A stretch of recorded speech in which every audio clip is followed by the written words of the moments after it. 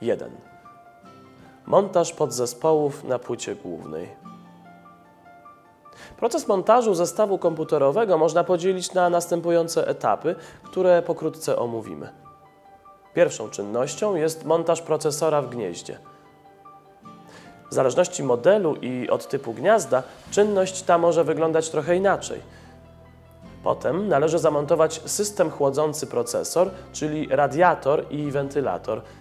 Jeśli radiator nie posiada fabrycznie naniesionej pasty termoprzewodzącej, trzeba nanieść ją na górną powierzchnię obudowy procesora.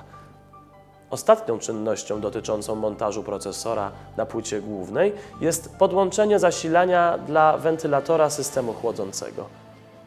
Przed włożeniem płyty głównej do obudowy jednostki centralnej montujemy moduł lub moduły pamięci operacyjnej RAM. 2. Montaż płyty głównej w obudowie jednostki centralnej. 1. Zamocowanie metalowych dystansów w zależności od formatu płyty głównej. 2. Włożenie płyty głównej i ustalenie jej na dystansach.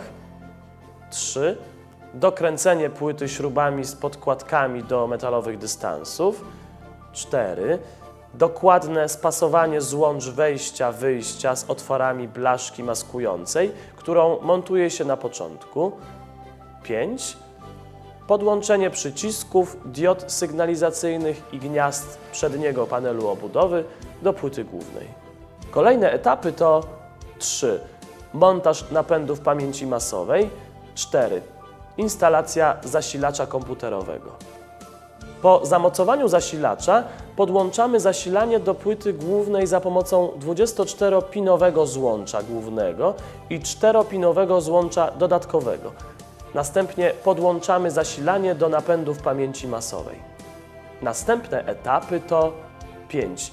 Montaż kart rozszerzeń.